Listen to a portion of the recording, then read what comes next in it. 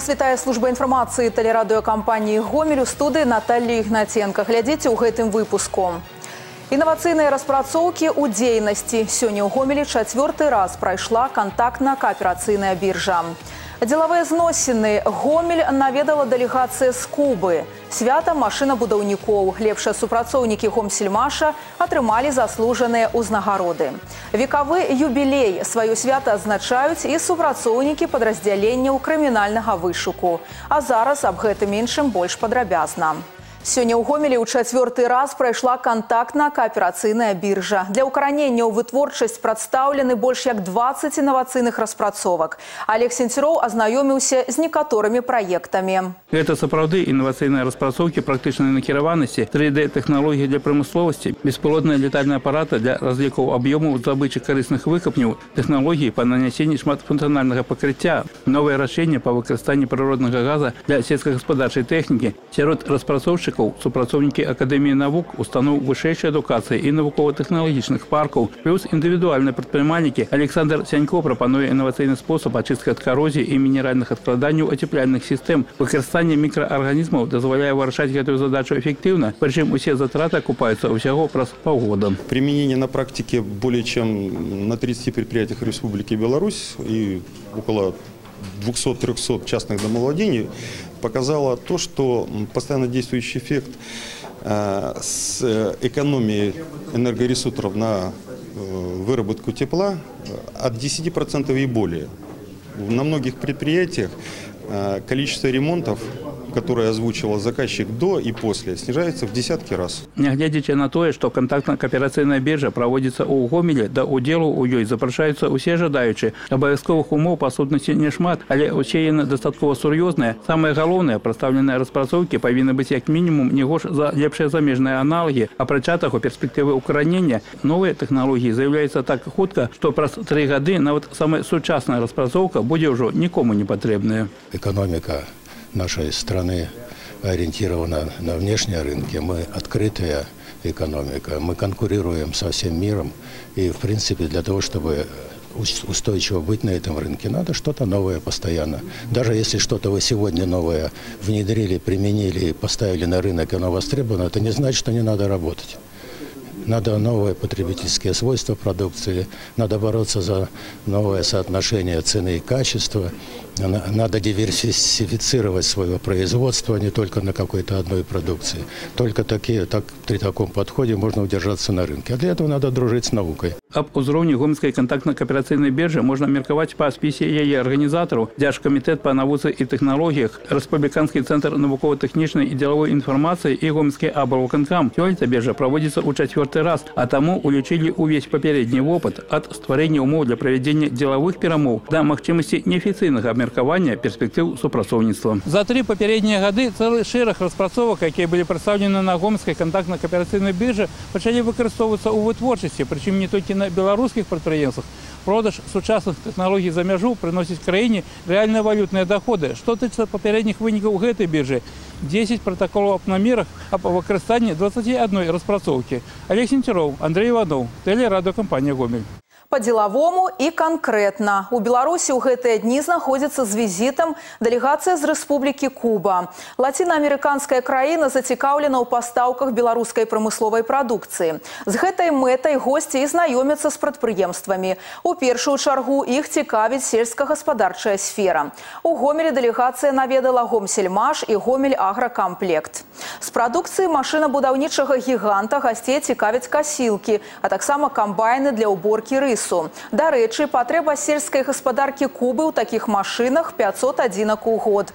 У планах кіраўніцтва Кубы мадэрнізацыя сферы вытворчасці малака. І тут да месца прыйдзецца прадукцыя гомель агракамплекта. Госці з відавочнай зацікаўленасцю знаёмяцца з даільнымі комплексамі беларускага вытворцы і гатовыя да супрацоўніцтва. Галоўнае, каб тэхніка змагла працаваць ва ўмовах кубінскага клімату.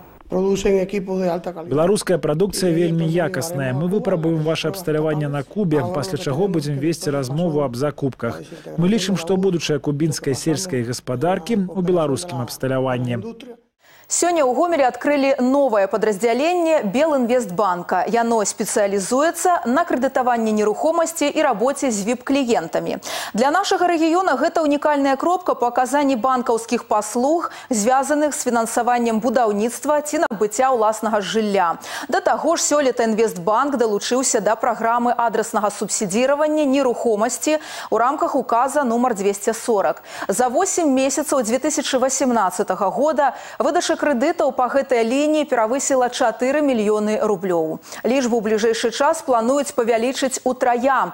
Тэму працягне Яўгенія Кухаронак. Урачыстае вяртанне ў родныя сцены. Аддзяленне Белінвестбанка па адрасе Савецкая 48 зноўку адчыніла свае дзверы для жыхароў гомельскай вобласці. Наваселле стала знакавай падзеяй для супрацоўнікаў і кіраўніцтва банка. 65 год таму ў снежні 1953 у гэтым будынку было адкрыта цэнтральнае аддзяленне дзяржбанка СССР. Наступным гаспадаром тут стаў якраз Белінвестбанк. Мы приняли решение возобновить работу офиса именно здесь, потому что это с этим зданием связана история банковского дела в Гомеле. Безусловно, сегодня очень много сервисов банковских уходит в онлайн, мобильное приложение, в интернет-банкинг. Но есть услуги, которые требуют хорошей, качественной, детальной консультации со специалистом банка. Это ипотека, это сложные банковские продукты, которые комфортно обсудить в условиях нового офиса. И вот именно для таких сервисов мы это подразделение и открыли. Аддзяленне спецыялізуецца на аказанне комплексных паслуг у сферы нерухомасці. Тут працуюць персанальныя менеджеры, якія з індывідуальным падыходам падбіраюць варыянты фінансавання будаўніцтва альбо набыцця ўласнага жылля. Адразу ж на месцы кліентам прадастаўляецца спіс прапаноў нерухомасці ад партнёраў банка, гомельскага дома будаўнічага камбіната, управлення капітальнага будаўніцтва, а таксама прыватных забудоўшчыкаў. У нас подписаны соглашения, и мы будем расширять дальше сотрудничество с основными застройщиками в части предоставления э, льготных э, процентных ставок, льготных кредитов по отдельным э, объектам. В части 240 указа, та динамика, которую мы показываем, начиная там, с апреля, с мая месяца, она уверенно позволяет мне сказать, что вот этот инструмент, эту господдержку мы будем активно предлагать гражданам. И это то, что надо сейчас жителям, особенно нуждающимся, особенно отдельным категориям, которые предусмотрены вот этим, вот этим указом. У банка добра наладжана сістэма дакументазвароту з мясцовымі органамі ўлады, таму крэдыт афармляецца аператыўна. Камфортныя ўмовы, у якіх аказваецца ўвесь спектр паслуг, звязаных з нерухомасцю, прызваны прыцягнуць кліентаў. Звычайна чалавек адзін раз у жыцці набывае ўласнае жыллё і падыходзіць да гэтага грунтоўна. І каб адказны крок быў зроблены дакладна, Белінвестбанк запрашае сваё новае аддзяленне ў гомелі. Акрамя гэтых адметных функцый, офіс аказвае ўсе звычайныя банкаўскія паслугі для фізічных асоб. Ім жа даступны і віп-сервіс. Таксама тут ажыццяўляюцца аперацыі па прыёме выручкі ад суб'ектаў гаспадарання. Евгенія Кухаронак, Валеры Гапанько, тэлерадыёкампанія Гомель. Заўтра жыхары рэгіёна змогуць звярнуцца з пытаннямі да прадстаўнікоў улады. Суботнюю прамую лінію правядзе старшыня абласнога савета дэпутатаў Кацярына Анатольевна Зінкевіч. Нумар тэлефона 33 12 37. У гомельскім гарвыканкаме прамую лінію правядзе намеснік старшыні Віталь Геннадзевіч Атаманчук. Нумар тэлефона 75 19 54. Прамыя лініі будуць працаваць з 9 до 12 гадзін. Узнагароджанне лепшых работнікаў аплодисментов апладысменты ад калег і святочны канцэрт. У гомелі распачаліся мерапрыемствы з нагоды дня машынабудаўніка. Першае прайшло ў палацы культуры гомсельмаш. Сотні супрацоўнікаў прадпрыемства ўзнімаліся на сцэну пад няспынныя авацыі залы. Яны з хваляваннем атрымлівалі ад кіраўніцтва гумсельмаша і прадстаўнікоў улады заслужаныя ўзнагароды. Нагрудныя знакі, ганаровыя граматы міністэрства прамысловасці, абла і гарвы канкама, гарадскога савета дэпутатаў і ўдзячныя лісты. Нягледзячы на складанасці, якія раз-пораз паўстаюць перад холдынгам гомсельмаш, нашы камбайны бренд Беларусі. У апошнія гады шмат зроблена для наладжвання павышання экспарту машынабудаўнічай тэхнікі ў розныя краіны свету. Добрых вынікаў удалося дасягнуць па зніжэнні вытворчых выдаткаў. Праца прадпрыемства ўдастоена высокай адзнакі падчас візіту ў гомель кіраўніка дзяржавы Александра Лукашэнкі. Задача на будучае не толькі дасягнуць неабходных паказчыкаў па продажы тэхнікі за мяжу, але выводзіць на рынкі свае інавацыйныя распрацоўкі. Подводим своеобразную такую черту, итог, можно сказать, уже уходящего года – В нынешнем году много чего было сделано. Наши специалисты, работники холдинга проделали огромную работу. Это и освоение новых рынков сбыта, и повышение качества, конкурентоспособности нашей техники. Проводится работа во всех направлениях. И последний визит главы государства, который состоялся в августе этого года, подтвердил значит, то, что глава государства дал нам высокую оценку нашей работе. Мерапрыемствы, прымеркаваныя да дня машынабудаўніка працягваюцца. Заўтра на стадыёне Гомсельмаш пройдзе канцэрт з удзелам творчых калектываў гомельскай вобласці і запрошаных артыстаў. А само свята па традыцыі адзначаць у апошнюю нядзелю верасня. Увазе гамельчан. Заўтра ў гомелі часова перакрыюць рух па праспекце касманаўтаў. Гэта звязана з правядзеннем на стадыёне Гомсельмаш культурна-масавых мерапрыемстваў, прысвечаных дню машынабудаўніка. Праехаць нельга будзе з 6 до 17 гадзін па ўчастку ад вуліцы Богданова да вуліцы Азёрнай. Грамадскі транспарт у гэты перыяд накіруюць аб'язнымі маршрутамі. Супрацоўнікі падраздзялення ў крымінальнага вышуку адзначаюць прафесійнае свята. Вынікі іх дзейнасці ў гомелі сёння падвялі падчас урачыстага сходу. Чым ганарацца людзі ў міліцэйскіх пагонах і якія задачы ставяць перад сабой, пацікавіліся нашы карэспандэнты. Кажуць, што іх работа падобная на шахматную партыю. Ад умення пралічыць наперад дзеянні злачынцы і правесці правільную камбінацыю шмат чым залежыць поспех аператыўнай дзейнасці. У сферы адказнасці супрацоўнікаў крымінальнага вышуку пошуку хуліганства крадзяжы забойствы ветэраны кажуць што бадай самымі складанымі для іх былі 90-е калі цяжкія злачынствы рэгістраваліся практычна кожны дзень сёння сітуацыя больш спакойна але гэта не значыць што прафесіяналы могуць супакоіцца с 2014 года у нас в области раскрыты все убийства раскрываемость тяжких особо тяжких преступлений на уровне 95 процентов но мы себя этими процентами не успокаиваем и хотим дойти до каждого преступления. Безопасность нашей стране – это бренд нашей страны. И мы этим гордимся. Свою историю криминальный вышук вядзе с 5 кастрычніка 1918 года. У гэты дзень калегія народнага камісарыята ўнутраных спраў зацвердзіла палажэнне аб савецкім крымінальным вышуку. Яго органы ствараліся ў гарадах з насельніцтвам не менш за 40 тысяч чалавек. Галоўная задача ахова рэвалюцыйнага парадку і барацьба з бандытызмам. Да прафесійнага свята ў гомелі стварылі своеасаблівую алею герояў крымінальнага вышуку. Усевалад Кавальчук раскрыў 53 наўмысныя злосныя забойствы Якаў Юдович звыш 100. Владимир Кім прымаў удзел у раскрыцці 300 забойстваў. Барацьба са злачыннасцю заўсёды была найважнейшай функцией любой державы. Пускай не всегда это может быть заметно, но вместе с тем только оперативный работник знает, что такое раскрыть преступление. Поэтому успехов, оперской удачи всего самого лучшего. Ну и действительно э, семейного благополучия э, их семьям, женам. Хотелось бы пожелать терпения, еще раз семейного благополучия, всего самого лучшего. Олег Сентюров, Максим Савин, Валерий Гапанько, телерадиокомпания «Гомель». Дзяржаўтаінспекцыя гомельскай вобласці з сённяшняга дня па сёмага кастрычніка правядзе комплекс прафілактычных мерапрыемстваў сустрэчная паласа. Будуць арганізаваны рэйды, накіраваныя на выяўленне і спынення парушэнняў правілаў абгону і выезду на паласу сустрэчнага руху. Удаі паведамілі, што з пачатку года у рэгіёне з-за выезду на сустрэчку загінулі 15 чалавек і 34 атрымалі траўмы рознай ступені цяжкасці. Сёння ў гомелі адбылося ўрачыстае мерапрыемства Беларусь краіна міру і згоды. Удзел у ім прыняў міратворчы актыў вобласці, прадстаўнікі органаў выканаўчай улады, педагагічнай грамадскасці і праваслаўнай царквы, а таксама партнёрскія арганізацыі і падрастаючае пакаленне. Мерапрыемства прымеркавалі да міжнароднага дня міру, які з'яўляецца сімвалам спакою, гуманізму, даверу і сяброўства. Штогод да гэтага свята гомельскае абласное аддзяленне беларускага фонду міру праводзіць праводзіць шэраг тэматычных акцый. Усе яны накіраваны на ўмацаванне сяброўства і ўзаемаразумення паміж народамі, а таксама далучэння падрастаючага пакалення да міратворчай місіі, такой важнай і неабходнай у сучасным свеце. На ўрачыстае мерапрыемства ў гомельскі дзяржаўны абласны палац творчасці дзяцей і моладзі запрасілі пераможцаў і прызёраў абласнога этапу рэспубліканскага паэтычнага конкурсу шчасце жыць у мірнай краіне. Усяго каля 70 юных аматараў аматараў паэзіі з усіх раёнаў вобласці. Ва ўрачыстай атмасферы яны атрымалі ўзнагароды і памятныя сувеніры. Павіншавалі падчас свята таксама і ўладальнікаў ганаровага статусу дзіця міру. Гэта хлопчыкі і дзяўчынкі, якія былі народжаны ў розныя гады, але ўсе 21 верасня ў міжнародны дзень міру. Дарэчы, за апошнія 12годдзя ў нашым рэгіёне ў гэты асаблівы дзень на свет з'явілася больш як 700 дзяцей. Многія з іх ужо зараз сталі сапраўднымі юнымі міратворцамі. Мы – дети мира, не знающие, что такое война, насилие и смерть, благодарны своим прадедушкам и прабабушкам, которые обеспечили мир над нашей головой. Мы, молодое поколение, обещаем сохранить нашу мирную и дружелюбную республику Беларусь.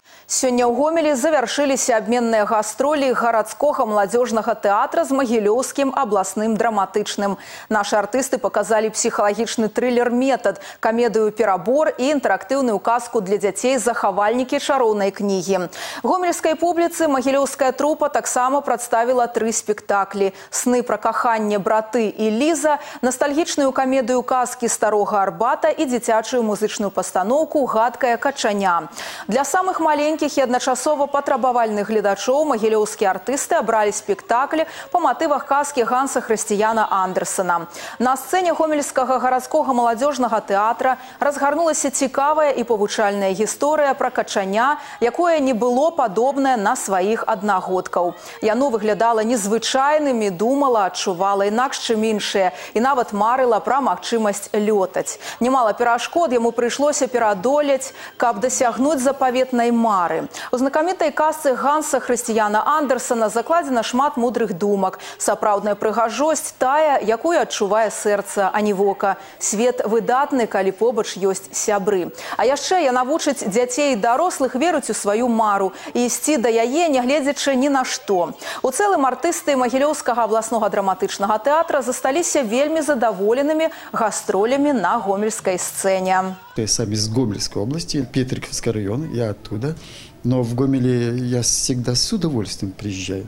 Что касается публики, ну, мне кажется, белорусы, они вообще очень благодарная публика. Мягкие, э, в ним присутствует лирика. Вот нет озлобленности у какой-то вот у наших людей. Это наша публика. Гэтыя таксама іншыя навіны вы можете знайсці на нашым сайце ў інтэрнэце па адрасе трайное даблы кропка цвяргомел кропка бівай. Далей у эфіры дэ-факты і спартыўныя агляда я з вами развітваюся усяго добрага і да новых сустрэч у эфіры. Эфир телеканала «Беларусь-4» продолжает де-факто. В студии Руслан Габрилев. Здравствуйте. Сотрудниками ГАИ Гомельского района был задержан житель областного центра, который накануне угнал автомобиль. Старенькая шестерка стояла около подъезда многоэтажки в Советском районе. 29-летний нигде не работающий парень, находясь в состоянии алкогольного опьянения, средь бела дня проник внутрь салона, завел двигатель и уехал на чужом авто за город. Хозяин обнаружил пропажу только через полчаса, сообщив об этом в дежурную часть милиции. Через некоторое время автомобиль был обнаружен в деревне Пионер Гомельского района. В отношении угонщика возбуждено уголовное дело. На территории Гомельской области за прошедшие сутки было зарегистрировано 27 дорожно-транспортных происшествий, в которых один человек погиб и один пострадал. Около 15.00 в Мозыре 72-летний водитель автомобиля «Дача Дастер», уходя от одного столкновения, совершил другое. Водитель автомобиля с целью избежания столкновения с автомобилем, который выехал со второстепенной дороги, выехал на полосу встречного движения, где произошло столкновение с автомобилем МАЗ. В результате происшествия водитель легкового автомобиля от полученных травм скончался на месте. Его тело пришлось извлекать спасателям. А в областном центре на нерегулируемом пешеходном переходе был совершен наезд на 35-летнего парня. Водитель с места происшествия скрылся, но в ходе проведения оперативно-розыскных мероприятий вскоре был задержан. Пешеход госпитализирован. С территории одного из предприятий железнодорожного района Гомеля накануне утром в областную больницу был доставлен мужчина 1965 года рождения. Снимая шифер с кровли склада, плотник провалился и упал с пятиметровой высоты. Медики предприняли все возможное, но через несколько часов от полученных травм мужчина скончался. Следственным комитетом проводится проверка, назначен ряд экспертиз. Предположительно, поджог мог послужить причиной уничтожения 12 тонн соломы в Хоникском районе, сообщили в МЧС. Пожар произошел вчера вечером в двух километрах от деревни Высокая. По прибытию спасателей к месту вызова происходило на вспаханном поле открытое горение скирды соломы рапса косы этого года. Пожар был оперативно ликвидирован спасателями. Вместе с тем огнем уничтожено 12 тонн соломы. Причина пожара будет установлена, однако одна из рассматриваемых версий причины возникновения пожара – занос постороннего источника зажигания извне. Такой обзор происшествий к этому часу. Оставайтесь с нами и берегите себя. Я Руслан Габрилев. Благодарю за внимание. До свидания. На телеканале «Беларусь-4 Гомель» новости спорта. В студии Максим Савин. Здравствуйте. В очередном туре чемпионата Беларуси по хоккею в экстралиге оба представителя нашего региона победили. Первую викторию в основное время в нынешнем чемпионате одержал Жлобинский «Металлург». Столевары, уступая по ходу выездного поединка с Лидой 0-1, сумели сначала сравнять счет, а за минуту до окончания основного времени матча вырвать три очка. В составе «Металлурга» точные броски на счету Феклистова и Севастьянова. Гомель также победил в основное время. Гродненский «Неман» на домашнем льду дважды вел в счете, однако не смог удержать преимущество. Точку в поединке за две минуты до финальной сирены поставил Колосов. Он же, кстати, открыл счет заброшенным шайбам Рысей в этом поединке. Еще один гол на счету Голубича. Гомель победил 3-2 и закрепился в тройке лидеров регулярного чемпионата. «Металлург» располагается на шестой позиции. Завтра Столивары отправятся в Гродно, где сыграют с Неманом. Гомель едет в Лиду. Сегодня после двухнедельного перерыва возобновился чемпионат Беларуси по мини-футболу высшей лиги. Открыл третий тур поединок в Лиде, где сошлись Лидсельмаш и столичная охрана «Динамо». Гомельская команда ВРЗ завтра в Минске встречается с «Динамо БНТУ». Светлогорский ЦКК также на выезде играет с Аршанским «Витеном». БЧ третий тур пропускает, однако гомельские железнодорожники отдыхать не будут. Завтра им предстоит товарищеский поединок с дебютантом первой лиги национального чемпионата – «Гомель-Молоко» из Рогачева. Игровая программа 24-го тура чемпионата Беларуси по футболу в первой лиге уместилась в один день. Все поединки пройдут завтра. Один из них в Гомеле. «Локомотив» ждет в гости столичный энергетик БГУ. Стартовый свисток на стадионе «Локомотив» прозвучит в 15.30. Мозырская «Славия» также играет дома. Соперник – Микошевический «Гранит». Этот матч также начнется в 15.30. В Светлогорске сойдутся два клуба из нашего региона. «Химик» принимает Житковический ЮАС. Начало в 16.00. На этом пока все. С новостями спорта вас знакомил Максим Савин. Оставайтесь на «Беларусь-4».